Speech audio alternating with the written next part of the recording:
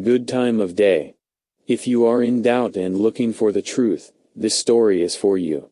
Today, let's talk about the extraordinary structures that remain from a past civilizations. It's intriguing how these objects haven't received much attention from the official scientific community. There are numerous such objects scattered across the planet, but we will only explore a small portion. Let's begin by transporting ourselves to Cambodia, more precisely to the western Baray of the ancient city of Angkor. This is a completely man-made reservoir, a remarkable rectangular structure measuring 8 kilometers by 2 kilometers. Just imagine, such precise dimensions, with straight angles maintained over such vast distances. It is the largest reservoir in modern Cambodia in terms of area, serving its purpose for over 900 years. The precision of the reservoir's boundaries and the grandeur of the construction are awe-inspiring. It is believed to have been built by the ancient Khmer civilization, although this claim remains debatable. Considering that this colossal structure would have been challenging to construct for ancient civilizations, it becomes apparent that this reservoir was not simply created by constructing a dam across a river. Instead, it was the result of the labor of the ancient people, who manually excavated the ground and built the reservoir to a depth of 5 meters. This reveals the magnitude of their engineering skills. Try to imagine for a moment that this reservoir can be seen from satellite maps. On your screen, you can witness it from a bird's eye view. The perfectly straight angles and the ideal symmetry are breathtaking. It is doubtful that ordinary people of that time could create such grand structures and preserve them for such a long time.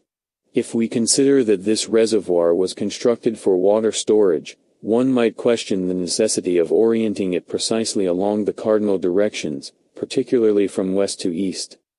The eastern Baray, another reservoir, presumably existed as well. Currently, it appears dry, as depicted in the photographs. Its size is astounding, with a shoreline length of almost 18 kilometers, 10 kilometers longer than the western Baray. It is an artificial lake that has partially dried up over time. However, it used to contain up to 50 million cubic meters of water. Now, as I understand it, this swampy area is used for agriculture. Inscriptions with unknown significance have been found at the four corners of the Baray, but their purpose remains a mystery. We can speculate that these structures served rotational purposes or were simply reservoirs, but without any inscriptions indicating their specific function, we can only wonder. The labor required for constructing such massive reservoirs seems immense, and it's unlikely that they could have been accomplished by ancient humans with such precise and symmetrical angles of 90 degrees.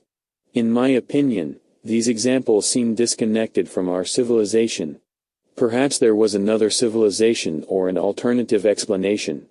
It's clear that humans, as we know them, did not create these grand structures in ancient times. Let's transfer with you to Peru near city of Cajamarca. Our eyes are greeted by an aqueduct Chumbe Mayo, the marvel of the mind. An aqueduct stands at an altitude of approximately 3 kilometers above sea level. We see the remains of an ancient structure that was clearly not made by hand. It is known that it was constructed even before the Inca Empire. Interestingly, the name Chumbe Mayo comes from the expression in the Quechua language, which translates to well-made water channel. Imagine how this aqueduct passes through the stone with smooth edges. It seems that water flowed through, but it's unknown how this civilization created it. The aqueduct is believed to have been built around 1500 AD, making it one of the oldest structures in South America. Just imagine, it stretches for about 10 kilometers. If the ancient waterway encountered rocks along the path, the unknown builders didn't seek an easy way and simply carved a tunnel straight through them. Take a look at these smooth walls, not a single rough edge made by stone axes or any other tools. How did they achieve such precision? The aqueduct truly amazes, and this place is particularly fascinating to me. Can you imagine the amount of effort it took to create such a turn? Why didn't they make a straight line? It's because the tool they used required them to work in this way. They couldn't make a straight line due to the interfering walls. The tool they used was large and bulky, which only fit in by cutting squares like this, you see. They had to turn everything to fit. If they hadn't done it this way, the tool wouldn't fit, but by making small cuts, they managed to create these little squares. The same goes for the patterns on this wall. It's truly astonishing and serves as evidence of the civilization that existed before us. Well, let's continue our journey and travel with you to Japan, near the city of Takasago, where the famous gigantic megalith Ishi no Hoden. It weighs approximately 600 tons and was created before our era. Ishi no Hoden is a unique semi-finished product, remaining in its original place during the manufacturing process, much like the unfinished obelisk of Aswan in Egypt. One of its vertical sides has the shape of a truncated prism, giving the impression that the object is lying on its side. At first glance, this position may seem strange, but it is actually quite intentional.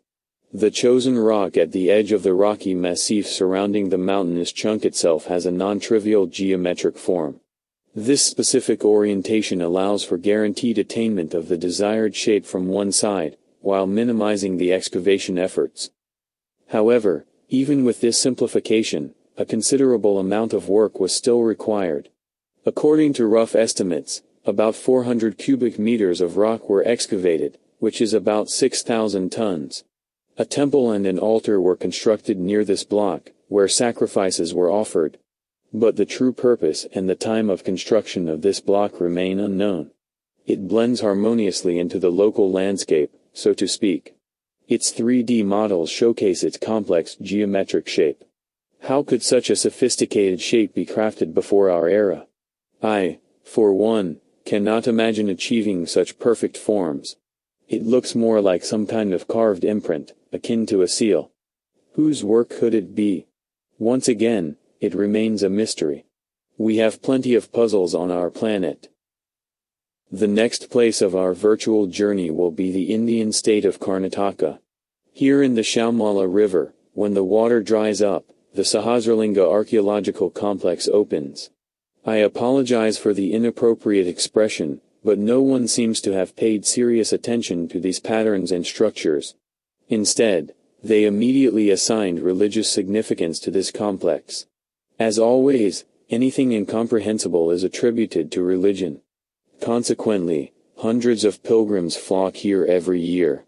Local residents acknowledge the ancient origins of this complex, speculating that it was likely constructed in the time of ancient gods.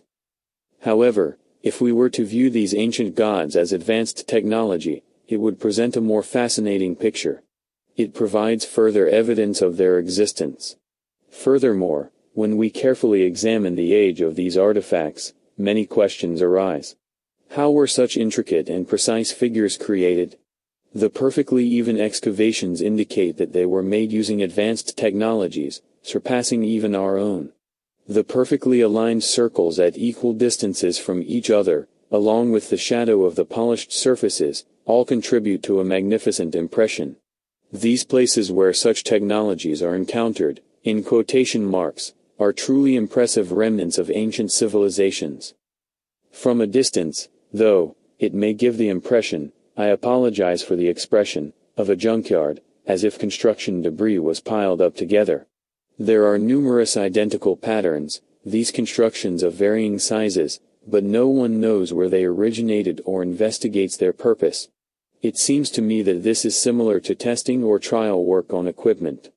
I was doing a similar job when I had to master a machine for turning cliches into typographic work. Then, I had about 20 different products made of magnesium plate, which then went into the trash. This lack of investigation is not proof that there was no pre-civilization, a civilization that possessed highly advanced technologies capable of effortlessly carving such objects in stone. What I have shown in this video is just a small fraction of the artifacts that exist on our planet. Places like this, similar to this one, inexplicably fall into oblivion. Official science does not show much interest in them, nor does it study them. These circumstances lead to certain thoughts. I repeat, there are countless such places. Dear like-minded people, write in the comments what topics you would like me to touch on, archaeology, ancient architecture, geography and ancient maps, climate change, signs of past disasters or forgotten technologies of the past. Subscribe, like, click the bell so as not to miss new videos that will reveal the truth. Remember, the truth is often much more interesting and surprising than official fiction.